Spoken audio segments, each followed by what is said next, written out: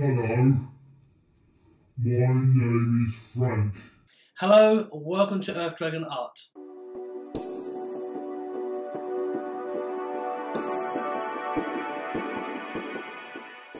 This is part two of my 2016 Frankenstein's Monster. In my last video you saw me do the line work and some of the colouring. Today we're going to do the second part of this video, so let's roll the credits and I'll tell you a bit more about it.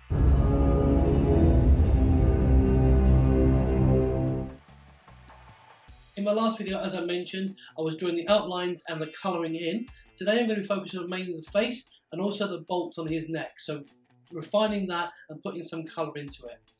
I do hope you enjoy this video, but just a couple of things just to mention before going ahead. One, this was done on Facebook via my phone, so the quality of the picture, as much as I've tried to enhance it as best I can, is not the greatest, so I do apologise in advance for the graininess of the, of the image. Hopefully you can still follow along and get an idea of what my thought process was during that time. Number two, at the time my anatomy skills were still in development, so some of the proportions and sizes and don't quite match the way they should do. I have made some adjustments later down the line, but I am still working on that and I've done some new versions of it that are a bit better proportionally. But you'll have to wait for that, that particular video once I start making it and colouring that one in. And three, I've edited out bits that I don't think were important for the video, so I've kept all of my little anecdotes and things that I felt that would relate to the actual video itself. So without any further waffling on, let's roll the tape.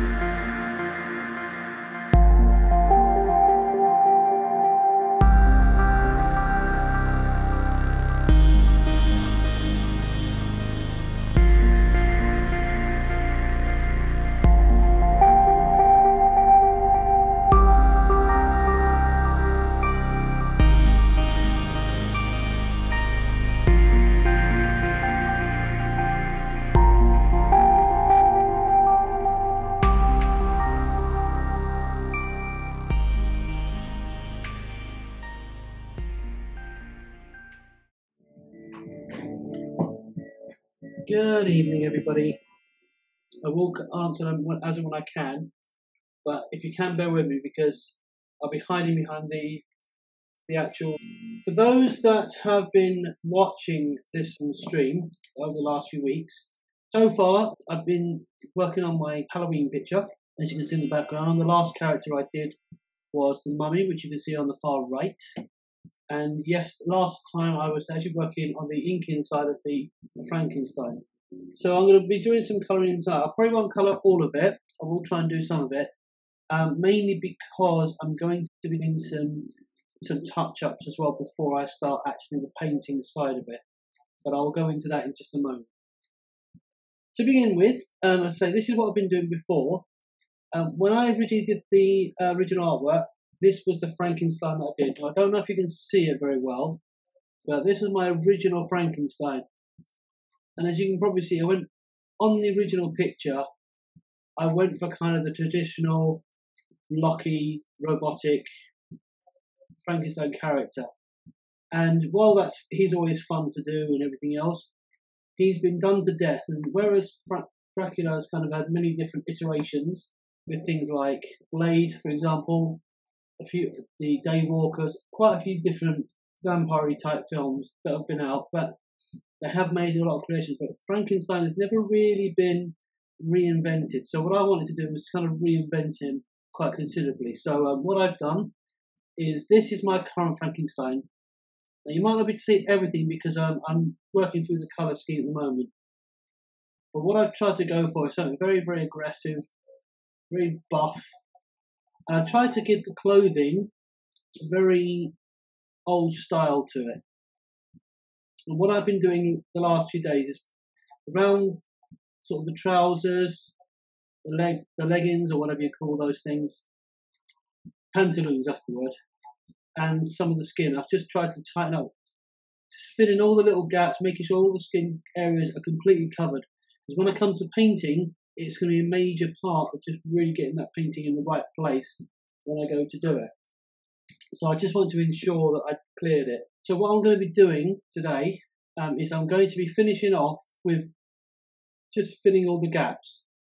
So for example, if you look at this shoe here, from a distance it looks fine, but if you look closely, you'll see that there's some areas where it's it's showing the pencil lines. What I want to try and do is I want to fill those bits in so that again when it comes to colouring it I can select that colour and just colour that part. I think ultimately will make the picture look look good. So we're, we're going to get to work on that. Oops, for some reason music's paused. There we go. So let's get to that. Okay, so we're on the shoes. So let me go and find my shoes. Okay, so so what I'm going to do with the shoes is I'm going to take my ink, my um, standard ink brush. I think I've already got there. We go. I've got my standard ink brush. I'm going to select the colour like I did the last time, I'm just going to carefully just fill in all the gaps. Like that, that, and I've got it quite zoomed in so I can get all the colours, so I can make sure I've got all the edges all done. And the good thing is I can fix places where it's not quite right. I mean, one thing I'm hoping that this will do, and I don't know if it will until the end, but um, it might work, it might not, but I've still got the outlines, is I'm hoping that doing this, when it comes to the end bit, I will actually be able to remove the lines completely and only the colours will actually make the character work. Because one of the things that I'm trying to get better at is the digital painting. I don't particularly like real painting, you know, oil painting, watercolors. I'm not really a fan of that kind of painting. Even to be fair, even digital painting, you know, I wouldn't say I, dislike it, but I wouldn't say I'm a particular fan because it takes, it is basically painting, figuring out what colours work together, what goes you know, um, getting all the shading right. However, I hate what, what I don't like even more is colouring in. I want things to be coloured in, but I don't actually like the process of colouring in because again, it just takes so long. This is another reason why digital painting is better to some degree because although it looks, you know, it can take, it can still take time. Ultimately, it can, you know, potentially once I get used to how to do it, it can be a lot faster. And more importantly, the colours are more solid. When you look at these colours now, how, how solid they are. It's one straight colour. You can't really see any uh, in variance in in the, shade of colour. I don't know how how you'd put it, but to try and explain that is, you know, when you um, you have you use your felt tip pens, for example, whenever you go over with your felt tip pen and it all dries up, you don't have a solid one color. You don't have solid black or solid blue. What you tend to find is you have all the lines where you've been brushing the pen, the, the pen back and forth, back and forth, back and forth, and you've got these lines in between on your drawing. That doesn't look terrible. I don't think it looks bad. I think it looks nice. But if you want a nice, clean drawing, the only real way of doing it probably is by using oil paint. It's probably the one, or perhaps, perhaps acrylics. Uh, anybody experts with painting will probably know. So I don't.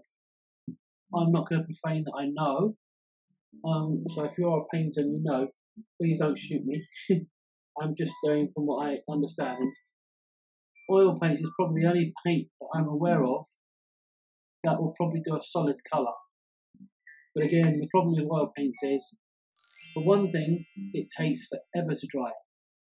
And that's one of the biggest things. I've only got one actual oil paint that I've ever done, and that was only because it was part of my course. And for those who visit my house, they'll it's the one uh, it's the one of my you know self portrait with all the different uh, different colours in uh, on, on the segments of my face. So for those who do know, that's the one that um, the only oil painting I've ever done. And I have no desire, right, at least right, right now, to do any kind of painting. Maybe in the future I might change my mind, who knows. Uh, something might happen and I might get bored drawing or bored digital painting and, do it. But for now, this for me is the best form of painting. And the reason why is because I feel like this is just drawing. This is kind of me using my colour pencils to draw. But going back to what I was saying, the difference between this and the felt tip pens is, as I said, the colour scheme just you could just tell where you, where all the pen marks have been. And I don't when I want a picture, I want it to be nice and smooth and clean. And even when I do do my pen work, I always try and go over it once or twice or three times or however many times I need to go, just so that I can um, get it as dark as I can possibly get. Okay, so that's the first shoe done. I'll do this one from a distance a little bit, just to try and see if I can speed up the process a little bit, but I need to zoom in to get the final results. I say I don't want to spend too long doing this bit because it can it can be. It's not. I suppose it needs drawing can. It, it, it, it just takes time. But look at, let's say, look at the difference in that. Look at how, particularly if you look at the leg here, look how solid that colour is. There's no blemishes. You can't see where I've been brushing. Whereas on a pen, you'd see where I was brushing and everything. But hopefully, one thing that I do hope that this painting and all this thing I'm doing now that I'm doing, that I'm showing you, will give you an appreciation for how much work is, is goes into making an artwork.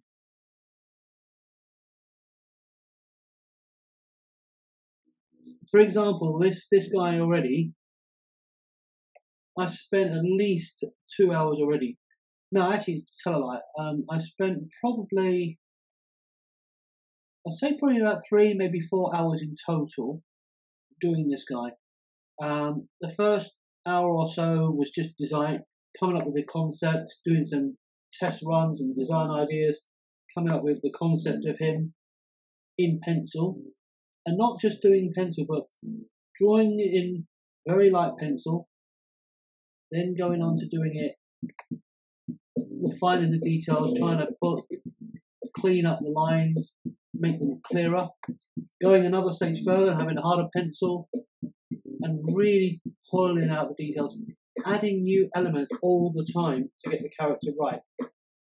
And again, going further, getting another depth. Of, for example, um, I've used, on this drawing alone, I've used a H4, a H3, H2, H, HB, um, B1, and yeah, I think B. I think I think B is probably HB is probably the last one I've used, but I do sometimes use the B and the HB pencil, uh, B and the B1 pencil, because each time I'm doing it, I'm just refining it, refining, refining it, and getting more and more done on the picture. The next stage of that was just the initial inking in, putting in the lines. In fact, more I did do the B pencil because I did some shading on where the muscle shade was and everything like, like that to try and figure out all the different elements of his tone. So when I do paint it, I know where it's all where it's all going. And then I had to do the the inking in. And for those who don't know what inking in is, it's basically taking a pencil drawing and physically adding a line, you know, like um, how can I put it? Black pen ink all around it really, really get, you know, just drawing all the different, uh, all the different lines, uh, all the different lines of the. Sorry, just I'm just concentrating a bit. All the, literally the different lines. Basically, all see, all of these little lines around here this is what was inked in where I inked in the different lines. And even then, took another, uh, started with like a point, point one, or point zero one even, point one, then a point two, then a point three, and then a point eight, just to define the lines so that once some are clear, some are not clear. Hopefully in another video I'll start to, I'll show you a bit more about what I'm talking about with the different lines I'm using so you can understand where I'm coming from. But that that basically gives me the basic shape to put him onto the computer here. And with this guy as well, I then went on and you did the lines digitally. So all these lines that that you're seeing now are the digital version, where I put it on the computer and refine them. Um, let me show you the original, see if I can. Right, this is the original. This is the original version of this character. Okay, so here's the different stages of this character. Let me zoom in a bit so you can see him. Okay. Right, this is the first one I did. This is the first pencil drawing. And if you look, there's all the different shades of the muscle, tone, um, got the face in there with all the different teeth and things like that. You look at the teeth as well. The teeth are not completely straight. They're not, you know, I, I did that to get the idea, but it's but some of the detail is not that clear on this character. Right, I then went to the next stage and just refined it a bit. And you can see here, it's just a little bit clearer what's what's in the face. Particularly the teeth, you can see there's more definition in the feet, feet and the eyes. Okay, the next guy, this was just where I blacked it in. Um, I actually just use a computer on this and just use a computer to lighten and darken, but it's not, it's still not clear. And then I faded that one out and redrew him. So this is the redrawn version. And you can see the difference. You look at this one here compared to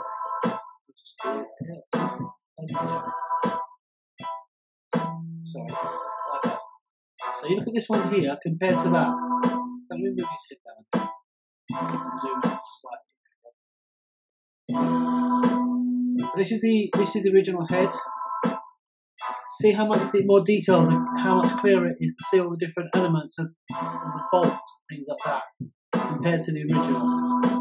So this is just to give you some idea of how much work actually goes into any one of these drawings. And hopefully, you know, this video these that you're watching today will help give you a bit of an appreciation for the amount of work that does actually go into crafting these ideas. Okay, so the next thing we're going to do is the eyes. So uh, me get into the right one, make on the right screen. There we go. So I've got some nice golden looking eyes here, making them look like old and decrepit and everything else. So I'll get my brush again. Get into.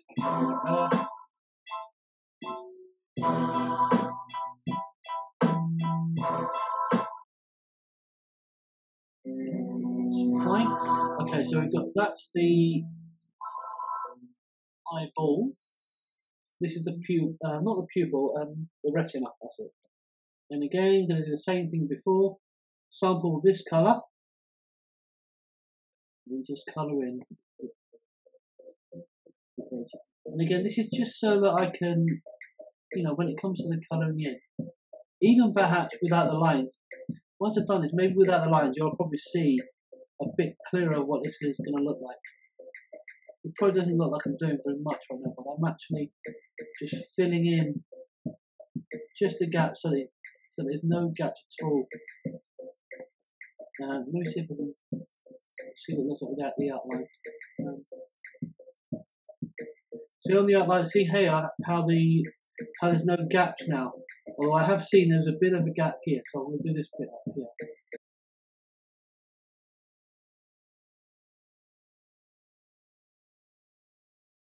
There's that little spot in the middle is where the pupil's going to be.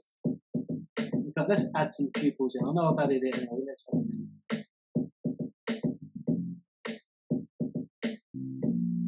The good thing about this is I just do circles. Done.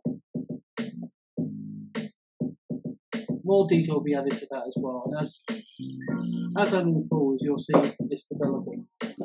Okay, so. So we now got the eyes done. Okay, so let's close the eye one. That's all done. One thing always remember, always remember to save. I know sounds, you might not think it for drawings, but always save your work as you go along.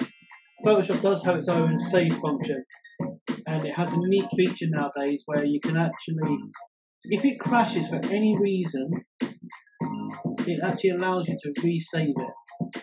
So it, it, it remembers what you last did. Now, to be honest, on the scars, it actually the scars actually look like they're okay. They don't need a lot of work. Just maybe some little tweaks here. The scars on the whole look like they're fairly don't really seem to need much doing. The only, the only areas I can see is where there's like where creeping into the face. So I'm just highlighting those little bits there. I'm trying to be careful not to cover too much because I don't know if you can tell there's stitches going on there uh, on the side of the face there. So I'm just trying not to go into the stitches so I don't have to repaint over them ideally. The stitches will go over the top anyway, so it's not the end. If it, if it does go over, it's not the end of the world. I'm just trying to get all the scars in there. Now, the thing with scars, I'm trying to make them so that they do have a point to them, like a sharp end, just to give them that sense of realism that they are scars. These are sort of um, sort of the cracks in the top of the face. Because on my particular version of Frankenstein, I've actually made him look like the stitches come apart and so is some of the insides are starting to show. In the original cartoon, or the original sort of versions of them, typical um, images that you see of Frankenstein. Okay, I'm good. He tends to have uh, scars anyway, but you never actually see what's beneath the scars. You know they're there, but you don't know kind of why. Of aging. Because the way it is, is um, the character Frankenstein was basically body parts from different people. He's created, you know, well, sorry, correction. Frankenstein monster was created by Dr. Frankenstein with many different pieces of uh, deceased bodies. That's the whole idea came from. I'm just trying, so I've made his skin kind of a yellowish colour where it just shows where it's been a bit old. And the fact it's all cracked as opposed to being just loose skin to give the idea of that, you know, it's it's been drying for a little bit. yes, that's the plan, Carl. Carlos. Hope you are there, mate.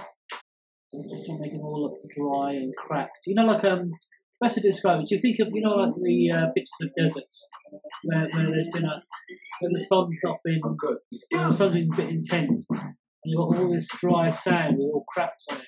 That was kind of the look or the impression I was going for.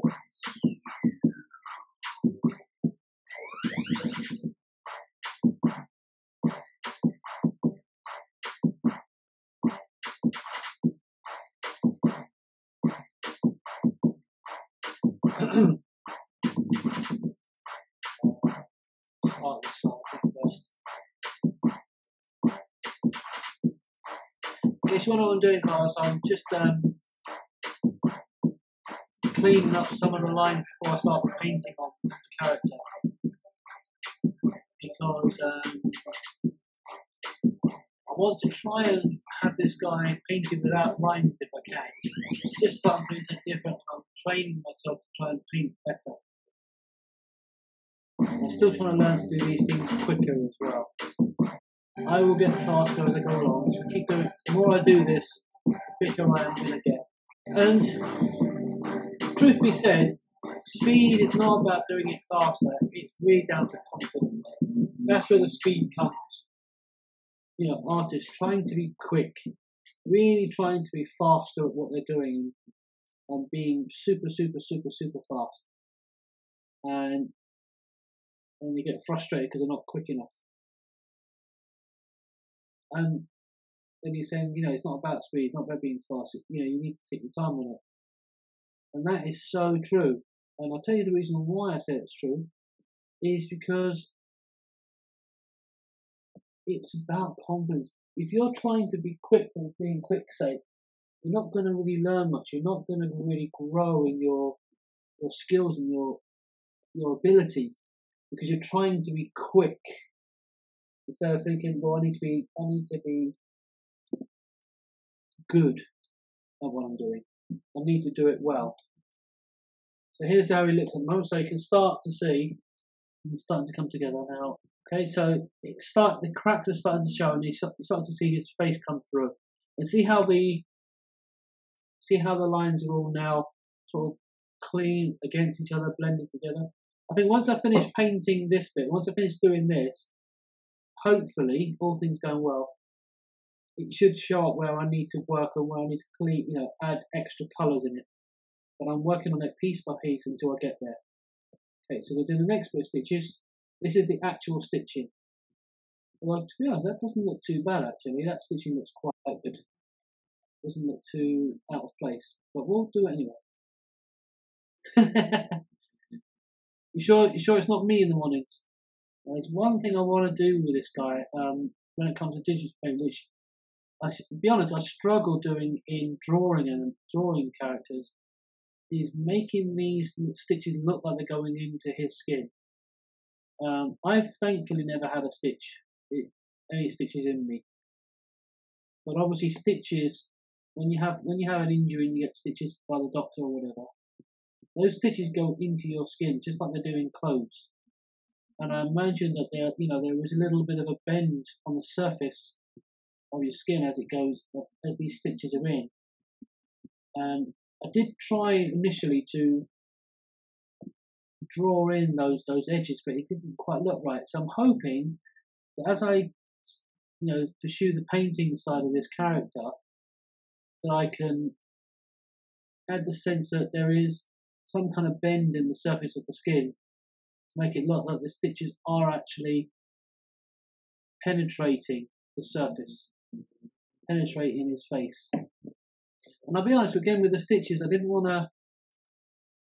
I didn't want to do the typical way of stitches, you know, like big scar and there's, there's lines across it.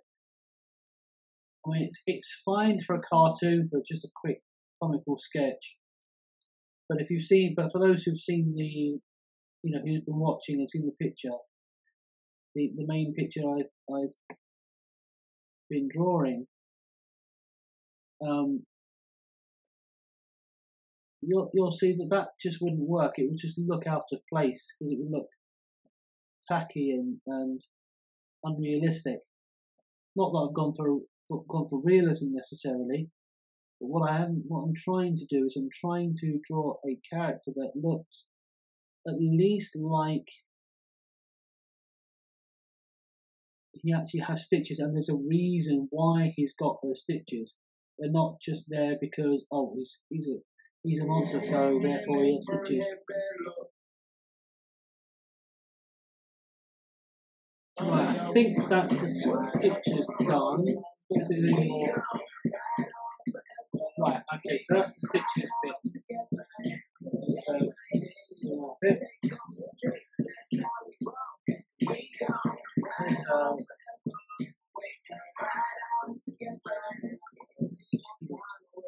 Right. Um, Oh no,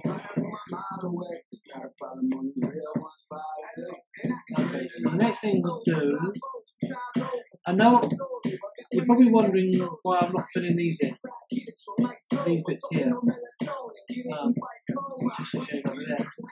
I know I've already coloured them in somewhere on this on this um, painting, so until I find it, I'm going to leave those for a moment. I'll come back to them. Right, so I'm do the hair next. So for a nice dark set of hair. And you can see here where I've missed the, where the hair's not completely coloured. This is where where this bit that I'm doing right now is important. Because that way it makes the hair really stand out on top. Okay, so just trying to get the hair in there.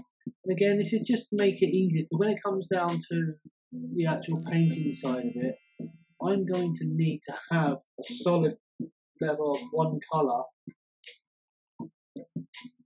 to what's the word I'm looking for here? Um, that I can put into what's called a clipping mask. And the clipping mask bait is, in a nutshell, a means of just of preventing colouring anything else but that particular area that I want to clean, want to um, uh, want to paint. So, for example, so for example, I'm putting some shade on it or I'm putting some hairlines on it, instead of the hairlines going over the face like that, the clipping mask, I can do that, but the clip will only colour here, one colour there. When I do that part, you'll see what I'm talking about when I get to that part. It probably won't be tonight. I wanted to do it tonight, but I don't think I'm going to be able to do it tonight because this is going to take take a little bit bit of time to get this get this all done. But I think it's going to make a massive, massive difference once it is. Good thing is, it's only really seems to be edges where the hair sort of the strands are sort of sticking out. It seems to need work.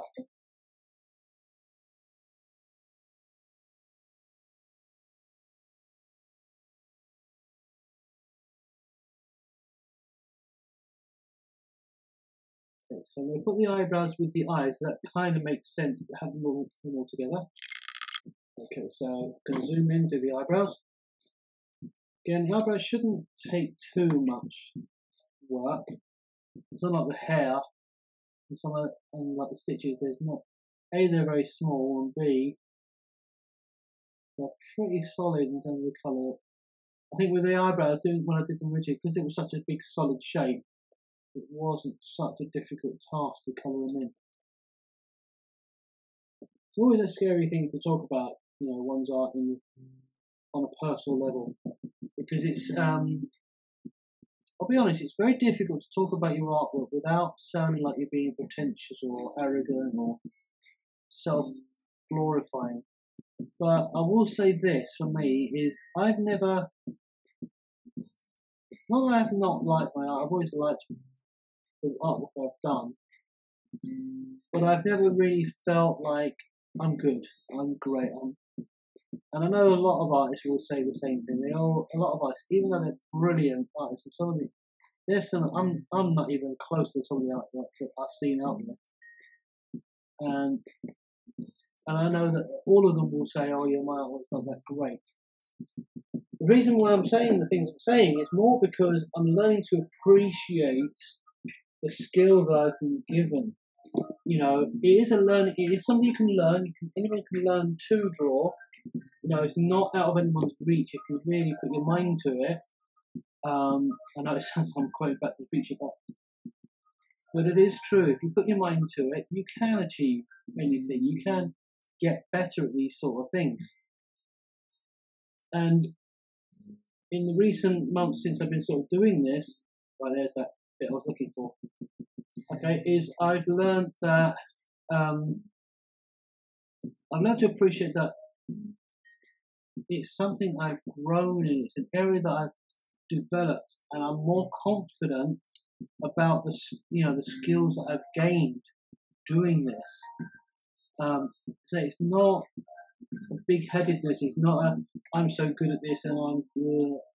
I don't think that way at all. I find it hard to even think that I'm that I am good.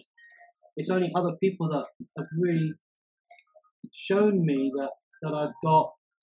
You know, that they shown they, they've shown me their appreciation of what I do, and that's given me the confidence and the courage to keep going.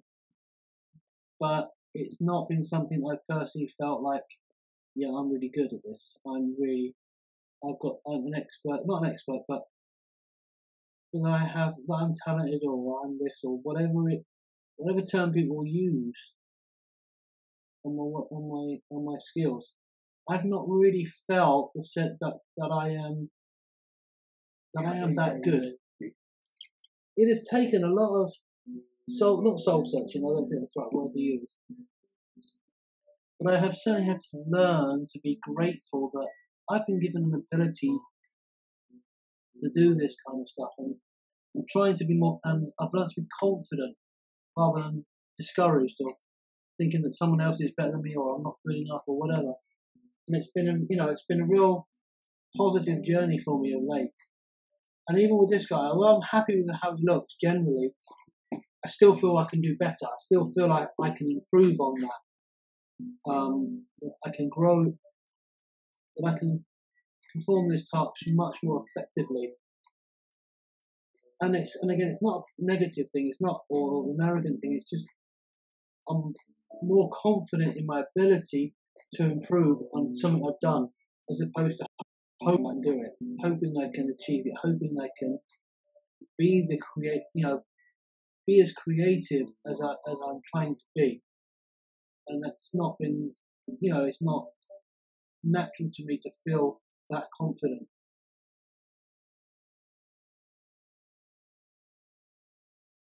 This is probably the one of the bits that I've been looking forward to the most in this character, is the bolts. So I'm going to scroll down to the bolts. So here's all the bolts. So what I'm going to do first, rather than just trying to paint each individual bolt as I go along, what I'm going to do is I'm going to hide some of the colours first, so I can only see the colours I'm cut starting with. It just makes it easier for me to see where the edges are when I'm doing this. That's kind of the reason behind this. From this angle, it looks like this is purple. I know it's not, but it looks like it's purple. and again, this is only the base colour. This is only the base colour. This is not a finished colour scheme. So just to be just to be aware of that, you know, it will there will be more colours going on this. I'm going to try to keep these lines as straight as I can. Out of all the things in this picture, the bolts have got to be the most accurate and straight and lined up. So obviously bolts are, are dead straight. Unless unless they're chipped, and even then, you know, they still have their level of um what's the word? They still have that sense of form, sense of symmetry. Symmetry, that's what I'm looking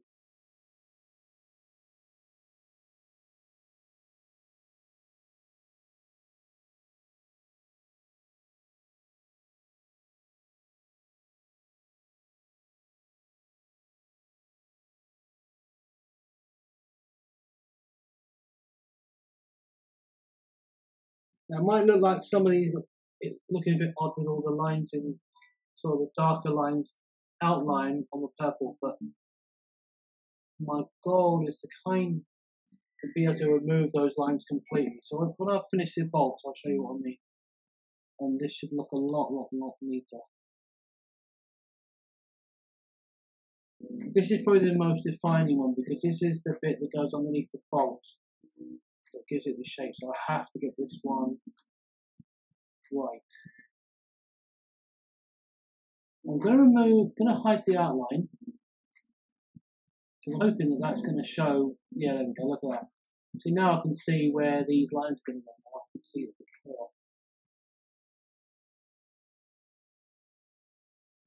It's like whenever you have a, you know, um, you have a, any kind of screw, this you've got the actual bits that the that screw together, and then you have the actual um,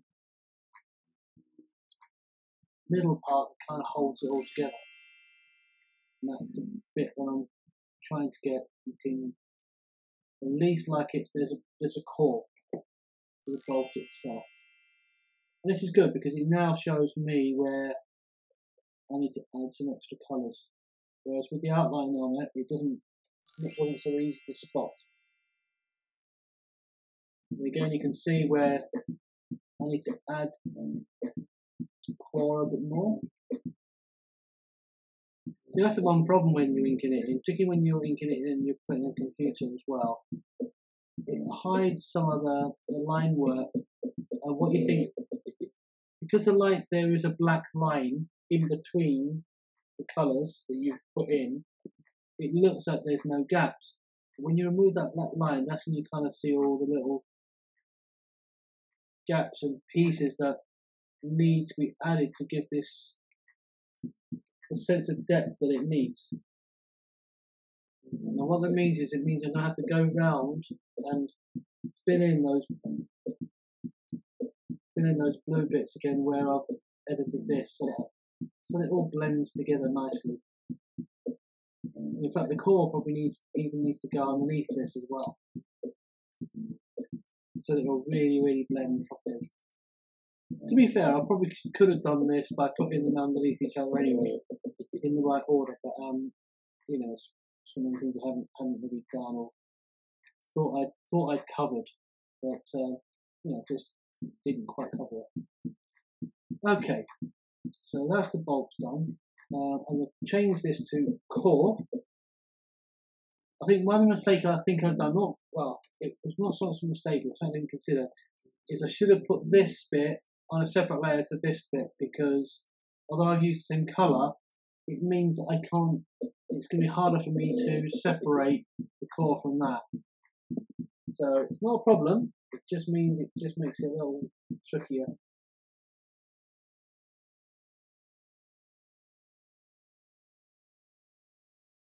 This whole process I'm doing is about refining this so that it looks more uh, as accurate as I can get it. I want, I want this to be as, as bold looking as I can possibly get it. And I can see, you know, this is this has shown me that there are some elements that I need to work on. I must be honest, I didn't actually expect this to be as complicated, this bit, as complicated as I thought. Uh, you know, good, good learning curve.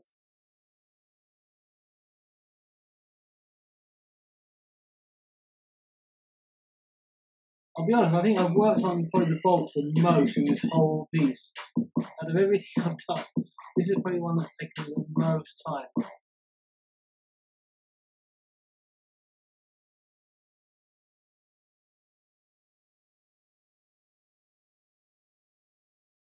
Well, I think once I've done the bolts tonight, I'll probably leave it, give it, call it a night for that.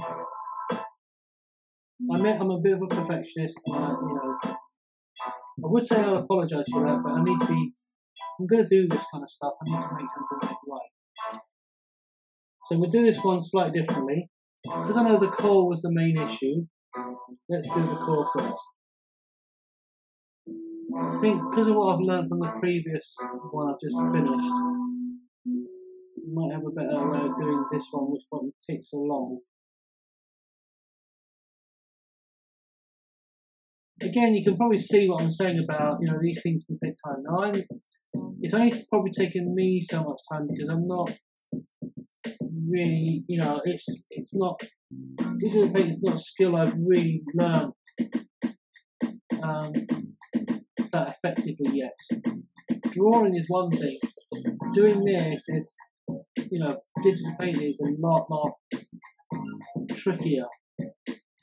And, and it's a case of just learning how I can make this work in the quickest possible way.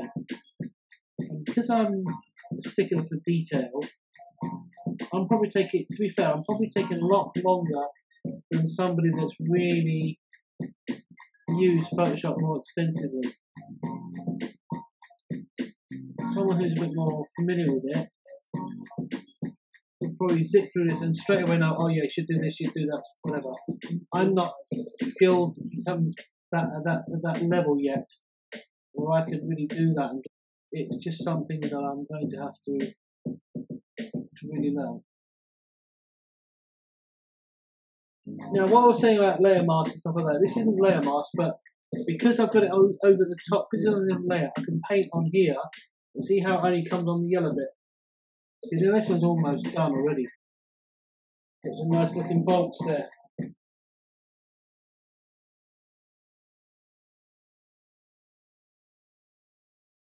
As I'm doing this, I'm seeing things where I can tweak it and make it, you know, fix things that don't quite look right.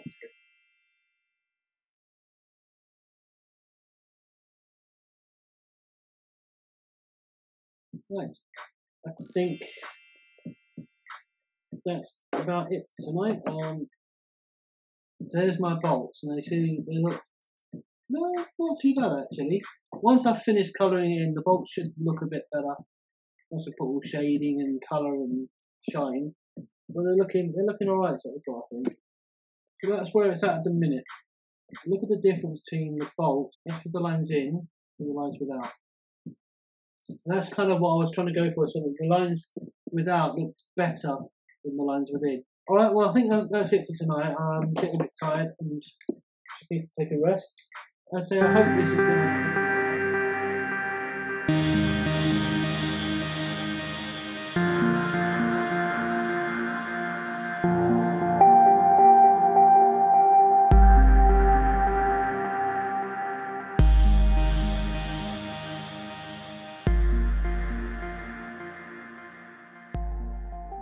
Well, that's part two. You want to see part three? Well, hit that subscribe button and the notification bell so you don't miss part three. Oh, and don't forget to give it a thumbs up.